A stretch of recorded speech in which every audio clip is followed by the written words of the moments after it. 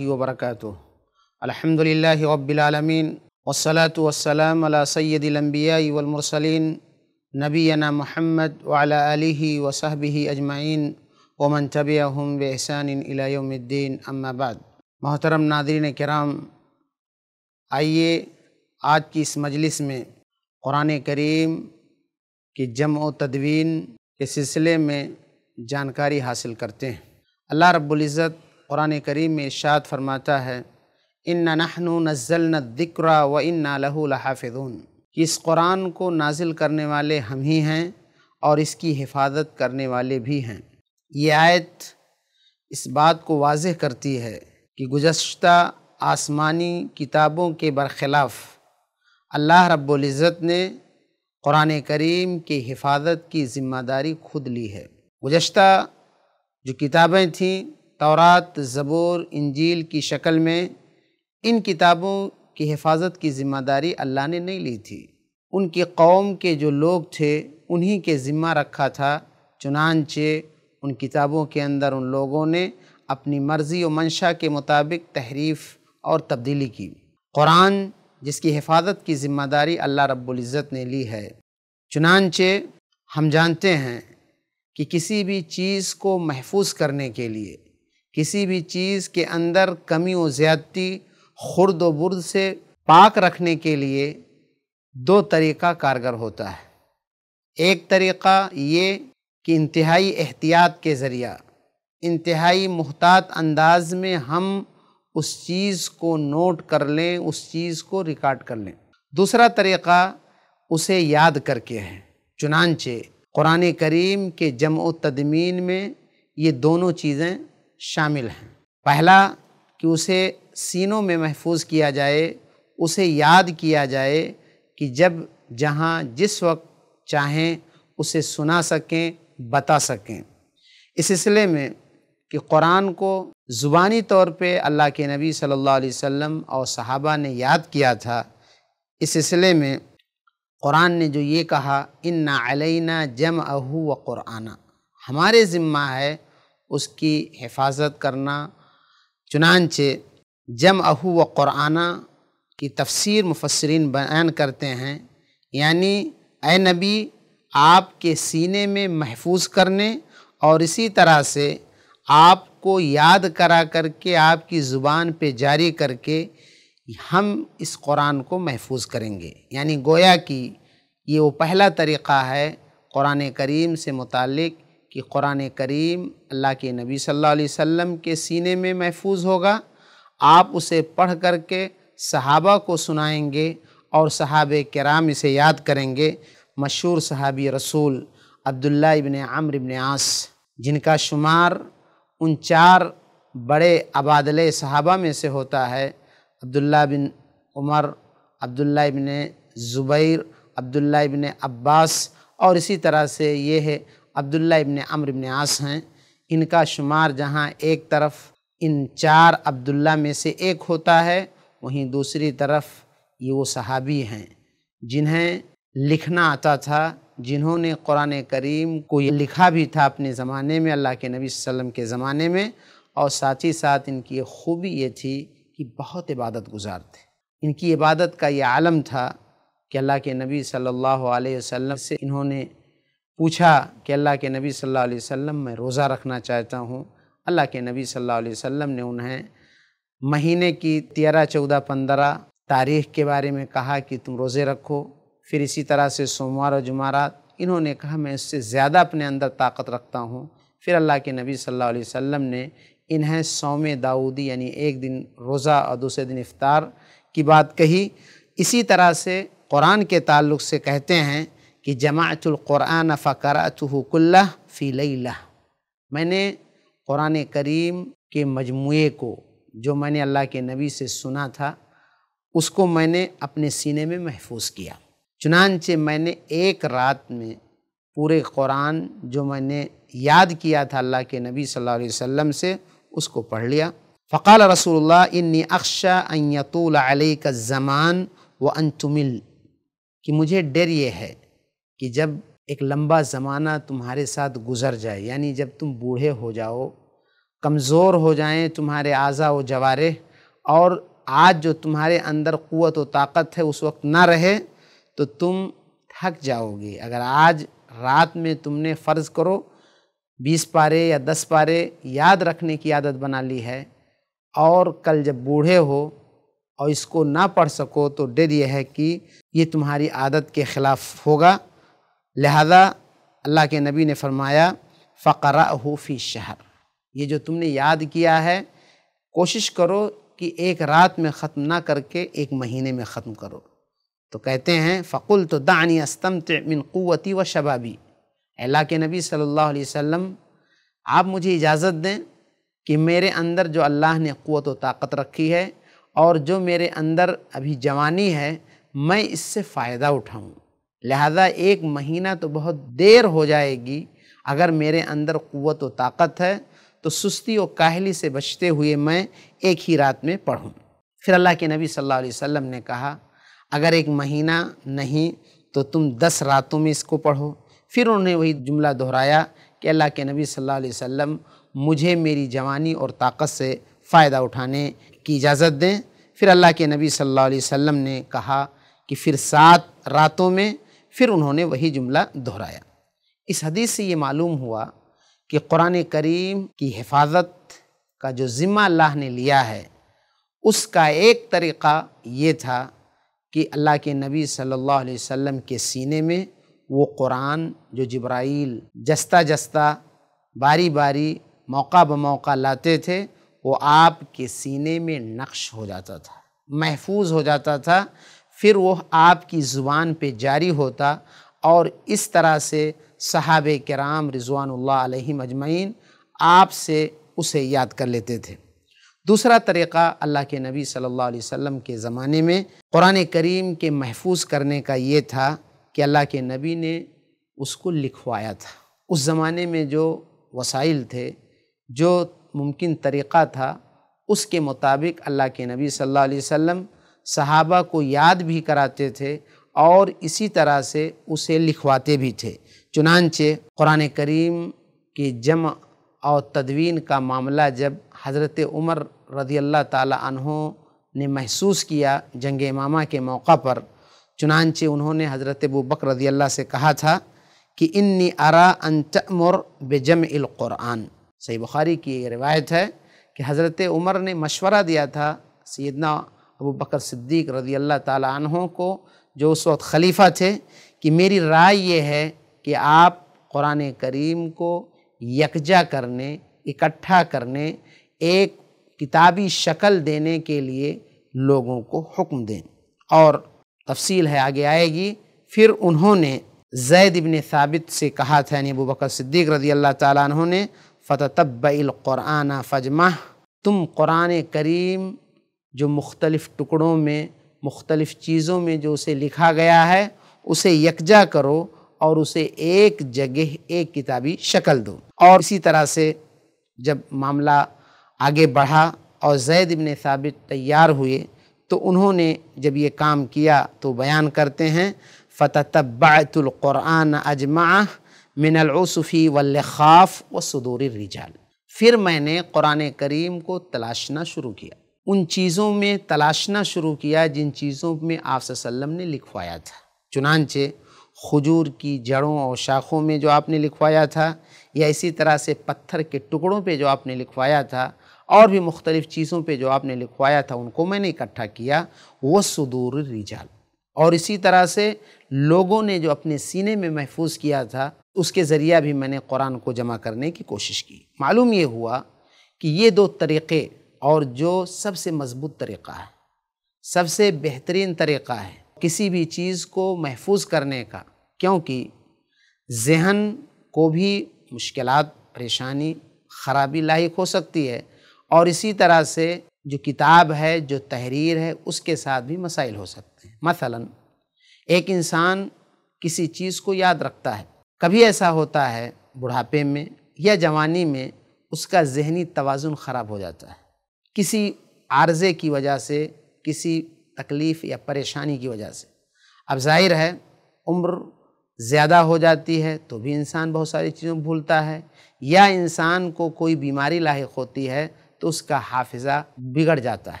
लिहाजा अगर सिर्फ़ जहन पर भरोसा किया जाए तो ज़ाहिर है, ये याद की हुई चीज़ गायब हो सकती है, नुकसान हो सकता है।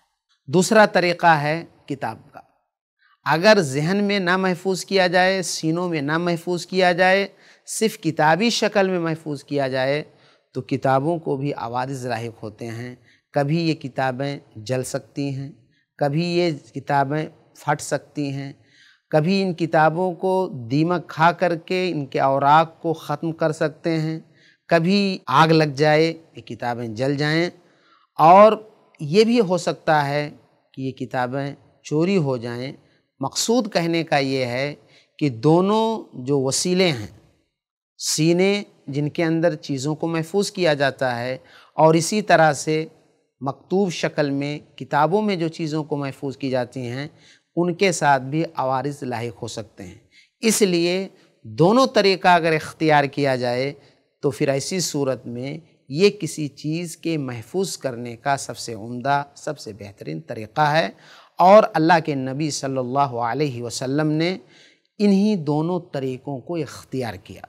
और इख्तियार ही नहीं किया, बल्कि अल्लाह के नबी सल्लल्लाहु अलैहि वसल्लम ने शुरू शुरू में हदीसों को नोट करने से आपने रोका था।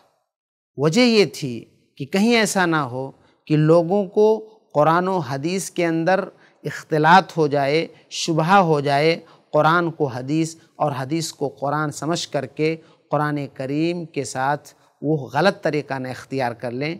लेकिन बाद में जब ज़माना गुज़रा और आप सल्लल्लाहु अलैहि वसल्लम को अपने सहाबा पर यकीन हुआ, सहाबा कुरान से मानूस हुए तो फिर अल्लाह के नबी सल्लल्लाहु अलैहि वसल्लम ने उन्हें इजाज़त दी कि वो हो, कुरान करीम को भी लिखें और अगर चाहें तो लोग हदीसें भी लिखें। चुनानचे सहीफ़ सदक़ा और भी बहुत सारी चीज़ें लिखी गई थीं, जिनका ज़िक्र किताबों में मौजूद है।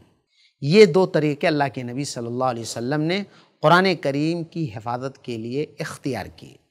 अल्लाह ताला ने कहा कि हम कुरान को नाजिल करने वाले हैं और हम ही उनकी हिफाजत करने वाले हैं। कुरान करीम की हिफाजत का ये मज़हर था अल्लाह के नबी सल्लल्लाहु अलैहि वसल्लम के ज़माने में। आइए देखते हैं कि ये कुरान जो हम लोगों और मुसलमानों के सीनों में है और इसी तरह से ये कुरान जो किताबों के अंदर और आग के अंदर महफूज है। अल्लाह रब्बुल इज़्ज़त ने जो ये कहा है कि हम कुरान करीम की हिफाजत करने वाले हैं, अल्लाह रब्बुल इज़्ज़त ने इस कुरान की हिफाजत के लिए क्या क्या तरीक़े अख्तियार किए हैं। नादरीन कराम, हमें ये बात अच्छी तरह से मालूम है कि अल्लाह रब्बुल इज़्ज़त ने हम और आपकी तकदीर को लिखा है और ईमान के जो छः अरकान हैं, उनमें से छठा रुकन ये है कि क़दा व क़द्र पर ईमान रखना। हदीस में आता है, सही मुस्लिम की रिवायत है कि अल्लाह रब्बुल इज़्ज़त ने तमाम मखलूक़ात की तकदीरों को लिखा, अज़ल में इन तमाम चीज़ों को लिखा, आसमानों, ज़मीन की तख्लीक से पचास हज़ार साल पहले। क़यामत तक जो चीज़ें होने वाली हैं, उससे पहले जो हुई हैं, इन तमाम चीज़ों को अल्लाह रब्बुल इज़्ज़त ने नोट कराया। इसी को लौह महफूज कहते हैं। उसी में तौरात भी, उसी में ज़बूर भी, उसी में इंजील भी, उसी में सोफ़ इब्राहिम सोफ़ मूसा भी और उसी में कुरान करीम भी। चुनानच अल्लाह रब्बुल्ज़त इसकी तरफ़ कुरान में इशारा करता है इन लक़ुरान करीम फ़ी किताब मकनून लमसहमतहरून कि यह कुरान करीम है। ऐसी किताब में जिसे अल्लाह रब्बुल्ज़त ने छिपा रखा है, महफूज रखा है लमसहमतहरून उस कुरान तक रसाई, उस कुरान के छूने की सकत और ताकत मुतहरून के अलावा कोई नहीं रख सकते। मुतहरून ये अल्लाह रब्बुल्ज़त के फ़रिश्ते हैं। इसी तरह से अल्लाह रब्बुल्ज़त ने एक दूसरे मकाम पे फरमाया, बल हुआ क़ुरान मजीद फ़ी लौहिन महफूज। ये कुरान मजीद है जो लौह महफूज में है। गोया, अल्लाह रब्बुल्ज़त ने कुरान करीम को लौह महफूज में रखा और इसे लोगों की दस्त दराजी से, हर किस्म की चीज़ों से उसे महफूज रखा है। और साफ़ कहा कि मुतहरून फरिश्तों के सिवा कोई इस कुरान को नहीं छू सकता है। तो अल्लाह रब्बुल इज़्ज़त ने इस तरह से कुरान करीम की हिफाजत के बारे में ख़बर दी है। यहाँ एक बात रहे कि कुरान करीम जो हम जानते और देखते हैं अल्लाह रब्बुल इज़्ज़त ने इसके ताल्लुक़ से कुरान में बयान किया है, शहर रमज़ान अल्लदी उन ज़िलफ़ीक़ुरान और इसी तरह से सूर कद्र में फ़रमाया इन अनजलना होफ़ी लतिल कद्र। पहली आयत में अल्लाह ने बयान फरमाया कि हमने इस कुरान को माह रमज़ान में नाजिल किया। सूर कद्र वाली आयत में अल्लाह ताला ने बयान फरमाया कि हमने शब कद्र को नाजिल किया। इस सिलसिले में अहल इल्म के दरमियान दो बातें हैं। पहली बात तो ये है कि यहाँ पर रमज़ान के महीने में या शब कद्र में इसके नज़ुल का मतलब ये है कि अल्लाह ताला ने माह रमज़ान की शब कद्र से इसके नज़ुल का आगाज़ किया। यानी इसको नाजिल करने की शुरुआत की। ये माना है। ये बात यूँ क्यों कहते हैं? क्योंकि कुरान करीम तो यकबारगी नहीं नाजिल हुआ। कुरान करीम रफ्ता रफ्ता तेईस साल दौर में नाजिल हुआ है। अगर हम कहते हैं रमज़ान में नाजिल हुआ या शब कद्र में नाजिल हुआ तो फिर ऐसी सूरत में यकबारगी नाजिल होने का क्या मतलब है? इसलिए एक दूसरी राय अहल इल्म ये पेश करते हैं और उस राय के ताल्लुक़ से सुनने कुबरा जो इमाम नसई रहमतुल्लाह अलैह की किताब है, जल्द छः सफ़ा पाँच सौ उन्नीस में, और हाफिज़ इबन हजर ने उस रिवायत को सही कहा है। उसमें है कि अल्लाह रब्बुल इज़्ज़त ने लौहे महफूज से मुकम्मल कुरान समाए दुनिया, यानी हमसे जो सबसे करीब आसमान है, वहाँ पर बैतुल इज़्ज़ा नामी जगह पे अल्लाह रब्बुल इज़्ज़त ने नाजिल फरमाया। और फिर रफ्ता रफ्ता, मौका ब मौका, जस्ता जस्ता अल्लाह रब्बुल इज़्ज़त ने अपने नबी सल्लल्लाहु अलैहि वसल्लम पे नाजिल फरमाया। तो इस राय के मुताबिक ये बात समझ में आई कि पूरा कुरान तो माह रमज़ान में और शब कद्र में तो अल्लाह ताला ने नाजिल किया। लेकिन दुनिया में नहीं, बल्कि समाए दुनिया पर और वहाँ पर मौजूद बैतुल इज़्ज़ा पर। और इस तरह से यह बात वाज हो गई कि फिर कुरान करीम रफ्ता रफ्ता नाजिल हुआ। ये तो रहा मामला कुरान करीम की हिफाजत का दुनिया में आने से पहले। अब जब अल्लाह के नबी सल्लल्लाहु अलैहि वसल्लम नबी बनाए गए और आप पर पहली वही गार हरा में इकरा बिस्म रब्बिकल्लज़ी खलक हुई और उसके बाद से नज़ुल कुरान का सिलसिला जारी हुआ तो उस मौके पर अल्लाह के नबी सल्लल्लाहु अलैहि वसल्लम पे नज़ुल से पहले, यानी आसमान और इसी तरह से ज़मीन तक पहुँचने का जो रास्ता है, इस रास्ते में अल्लाह रब्बुल इज़्ज़त ने कुरान करीम की हिफाजत के तई क्या किया? अल्लाह ताला कुरान में फरमाता है, व अन्ना लमसन समा फ़वजदना मुलियत हरसन शदीदम व शुबा ये आयत अल्लाह रब्बुल इज़्ज़त ने जो कुरान करीम के अंदर बयान फरमाई है, ये दर हकीकत जिनों की गुफ्तगु है। अल्लाह रब्बुल इज़्ज़त जब कोई हुक्म सादिर करता था, अपने फ़रिश्तों को कोई हुक्म, कोई पैगाम देता था तो ये फ़रिश्ते अल्लाह रब्बुल इज़्ज़त से ये हुक्म ले करके आ करके बाहम गुफ्तगु करते थे। ये जन्नात शयातीन, ये खबीस रूहें वहाँ करीब ठिकानों पे जाती थीं और जा कर के उन बातों को उचकने और उनको सुनने की कोशिश करती थी। कभी कभार उनको कोई एक बात मिल जाती थी और उसको ले कर के आते और काहिनों को इल्का करते, बताते और वो काहिन एक सच बात में निन्यानवे झूठ मिला करके फैलाता था। अल्लाह रब्बुल इज़्ज़त ने जब कुरान करीम के नज़ूल का इरादा फरमाया और अल्लाह के नबी सल्लल्लाहु अलैहि वसल्लम की बेसत हो गई तो अल्लाह ताला ने सिक्योरिटी लगा दी, उन सारी जगहों पे पहरा लगा दिया।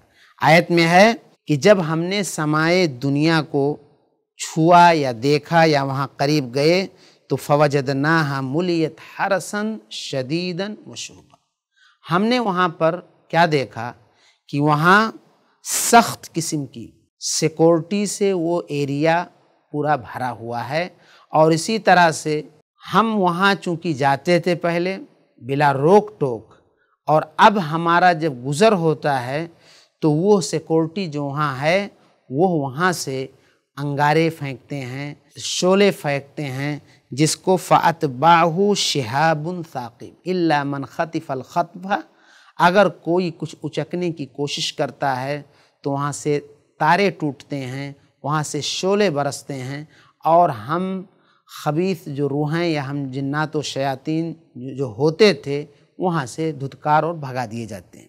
ये जिन्नात, ये शयातीन परेशान थे जगह जगह इस की हकीकत जानने की कोशिश करते थे कि आखिर क्या हो गया कि जहाँ हम बिला रोक टोक जाया करते थे, आज वहाँ कड़ी निगरानी है, कड़े अंदाज में पहरा लगा हुआ है।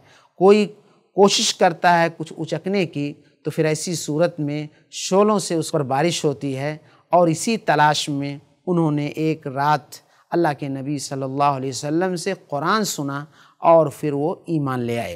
तो ये है कुरान करीम की हिफाजत का आसमान से ज़मीन तक आने पर यह किया कि अल्लाह ताला ने जिस तरह से पाकिज़ा फ़रिश्तों बेदी सफ़रा करामी बर्रा अल्लाह ताला ने कहा, जिन के अलावा किसी को छूने की, उसके करीब जाने की इजाज़त नहीं थी, अल्लाह ने आसमान पे हिफाजत की, ऐसे ही ज़मीन पर लाते वक्त अल्लाह रब्बुल इज़्ज़त ने इन फरिश्तों के ज़रिया कुरान करीम की हिफाजत की ताकि किसी जिन, किसी शैतान, किसी गलत के हाथों ना लग जाए।